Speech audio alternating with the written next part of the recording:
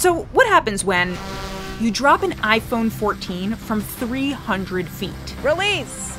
Oh my gosh, it's falling, it's falling. No, no, no, don't hit that, don't hit that. All right, here it is. Moment of truth. We'll get to what happened. But first, remember when that Alaska Airlines flight that lost part of a door plug, a piece of the plane coming off at 16,000 feet.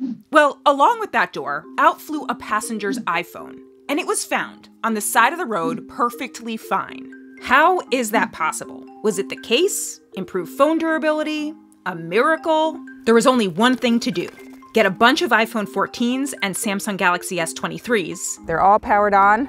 And load them up in our very own phone dropping drone. Trademark not registered. Safety first.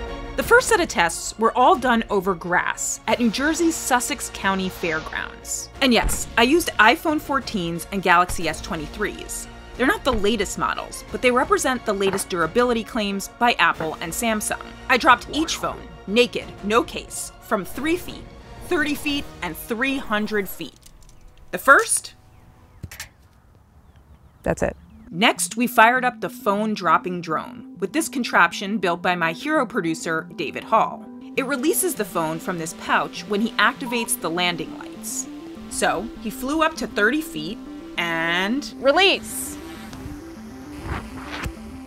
iPhone in perfectly good shape, other than some grass stains. Same thing for the Samsung at 30 feet. Camera's still on, and not even a grass stain. Finally, we went on up. iPhone 14, 300 feet onto grass.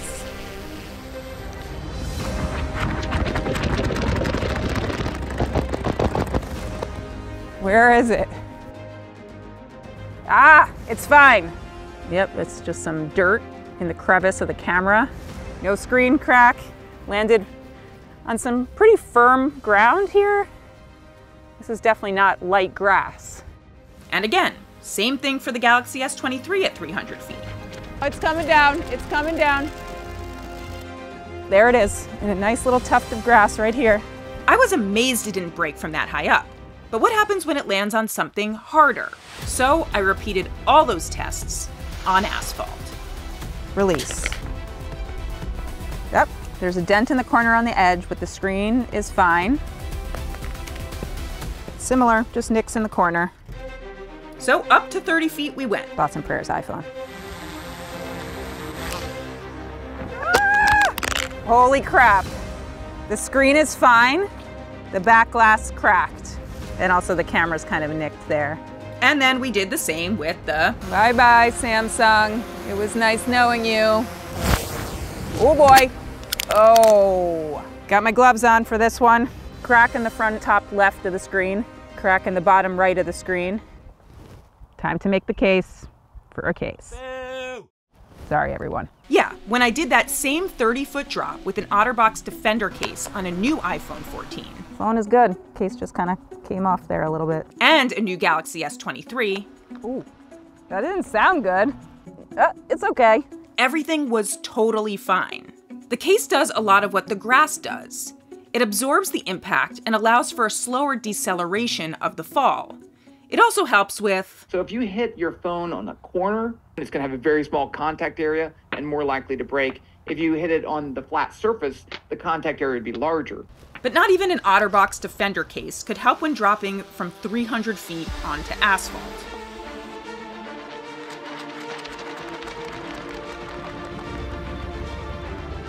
That hit pretty hard. Oh man! Screen's fine, totally fine. Glass covering the camera, completely shattered. But actually, camera still works. Sad days for Samsung too.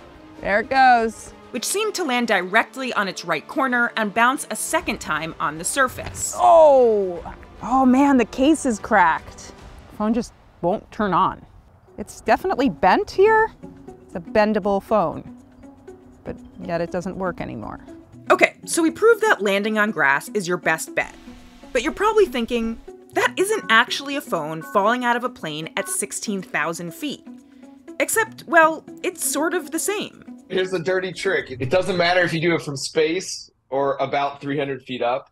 it's the same result because of something called terminal velocity. Yes, I called up Mark Rober, a former NASA mechanical engineer turned YouTuber, who has successfully dropped an egg from space. Let's say when you drop that phone, at first gravity's pulling it down from force, and it's going faster and faster. But there's another force that opposes that, and that's what we call drag. So at some point, what happens is you go fast enough that the force of gravity pulling you down equals the force of that drag. It's like a, a tug of war that's now tied. And at that point, because it's tied, you just you keep going at that that same speed. And I got some help calculating the actual terminal velocity of a smartphone. I got 27 meters per second, which is about 60 miles per hour for a phone. So, what did we learn from dropping all these phones today? Physics is cool. Yes, phones have gotten more durable too. Even 30 foot drops onto asphalt didn't destroy these phones. But yeah, if you happen to drop your phone out of an airplane, make sure it lands on grass.